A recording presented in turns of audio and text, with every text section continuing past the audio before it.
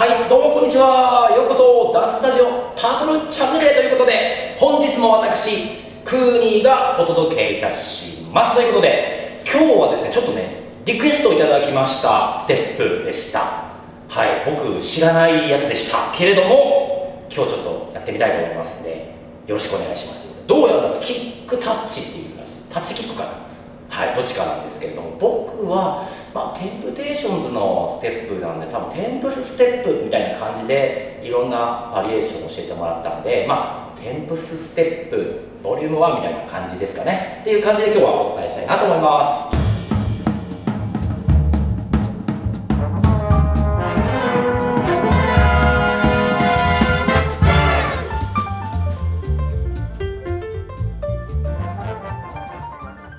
はいということで、まあ、テンプテーションズなんですけれどもあの非常にあのかっこいいです。はいかっこいいあのバンドですね。はい。えっ、ー、とね男の方々でね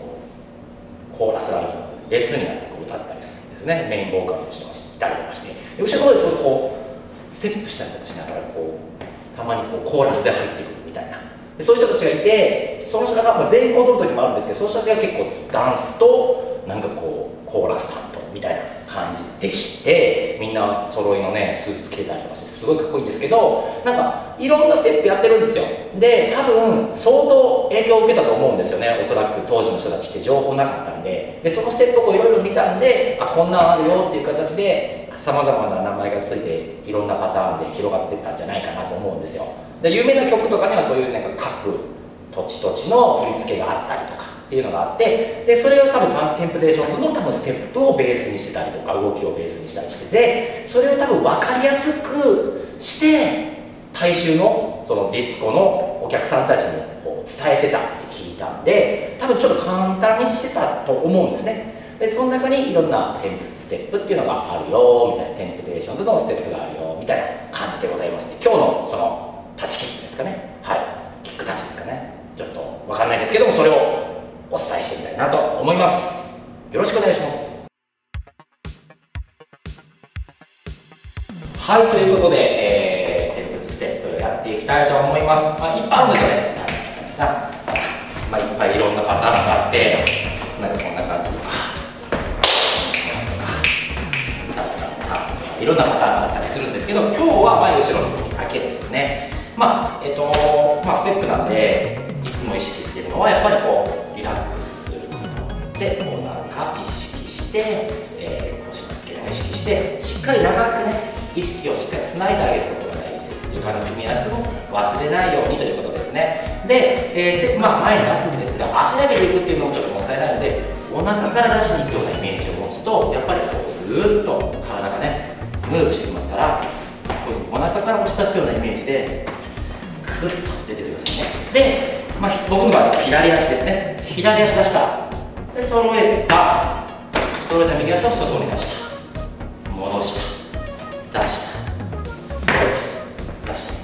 戻す。引くんですね。揃えて。あ右足を引いて。左足揃えて。たたです。これパターンを覚えたら簡単ですよ。出して揃えたやつでそーっと出して。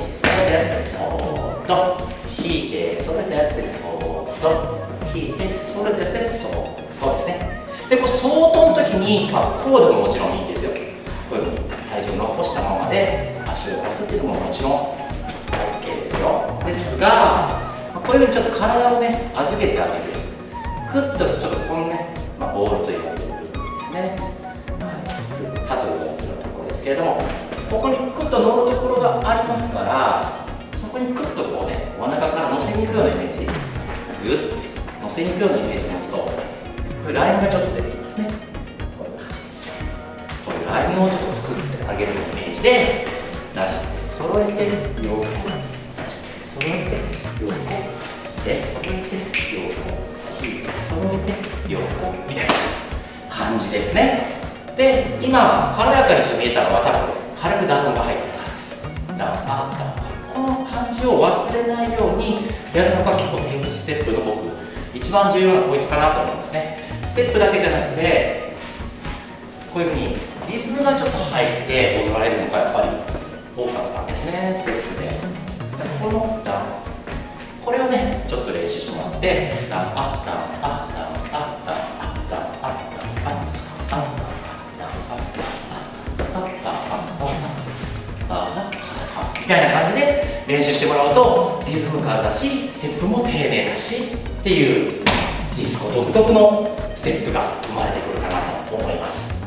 いいですか？でこれ慣れたら揃えるのとはもう飛ばしちゃうっていうのもあります。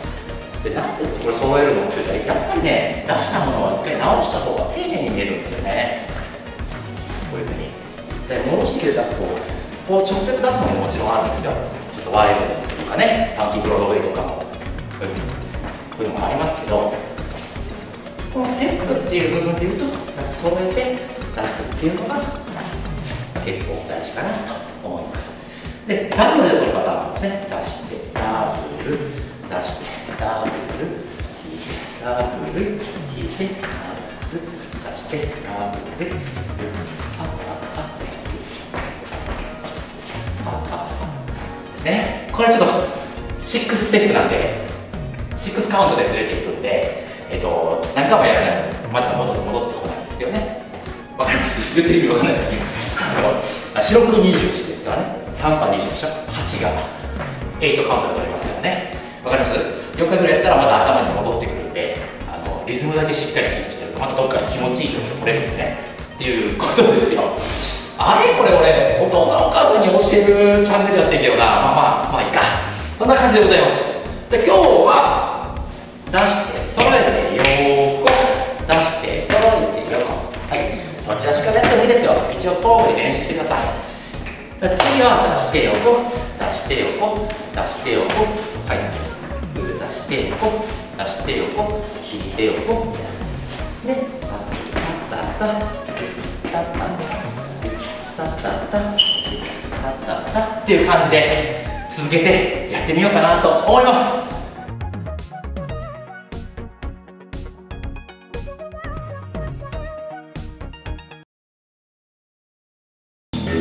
那咱 that.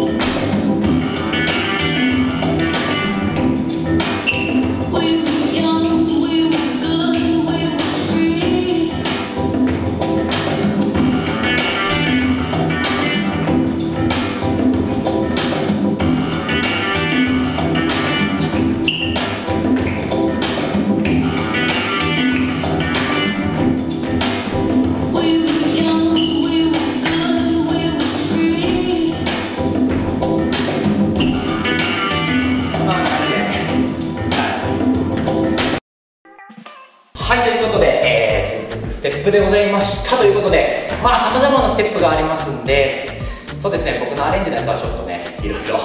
混ざりすぎてるけどねっていう感じなんですがまあ結構 YouTube とかにも上がってるんでいろいろ見てもらうとああこういうことかっていうのが分かると思います。あのなんていうかあの時代のソウル臭さっていうかねあれ出すの難しいですよねなかなかね。ですがそこにちょっとかっこいいが詰まってる感じがするのでああいうところでちょっとこうだろうなラインとか上半身の付け方とかステップは結構すぐ覚えれると思うんでこういう空気感の出し方とかっていうのはやっぱりあこういうかっこよさがあるんだなっていうのをやっぱりこう意識しておかないとなかなか出にくいですね。形だけでは。なのでぜひ、えー、僕の動画というよりかはそこからは覚えてしまったらそういう雰囲気をねちょっとね盗みに行くと言いますか、はい、感じに行くみたいな感じでちょっといろいろ検索してもらったらいいかなと思います。動き的に言うとやっぱりこう僕は足足先をしっかり意識するためにもなんか意識しながら足を長く見せることを常に心がけてます。でその中に足の、まあ、丁寧さですね床の感じ方とかで滑らし方とかでまず丁寧に床を使ってステップをしたりその中にこういうちょっとソールとかディスコっぽいアップダウンを入れてですねそのリズムの中でステップを混ぜていく。で慣れたら上半身をちょっとこ